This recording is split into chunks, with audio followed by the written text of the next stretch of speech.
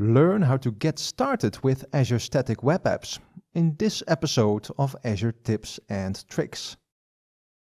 Azure Static Web Apps can take code from a GitHub repository and publish it using GitHub Actions. Let's do that.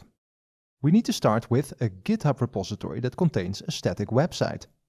There are template repositories that you can start with that are built with Angular, React and Vue but we'll start with a basic HTML static website. Let's create one from the template. I've already given it a name like this, and now create it. Okay, there it goes. And this is the repository. It is very simple and has an HTML file and a CSS file in it.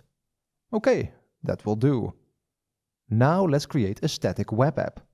I'll go and create a new resource and search for static web app. Here it is. All right, here we go.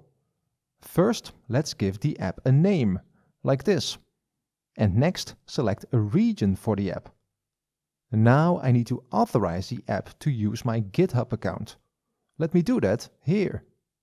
Okay, so let's configure this. My GitHub organization, okay, and the repo with the static website in it and I only have one branch. That's it. Let's create it and I'll skip to when it is done. Here is the static web app.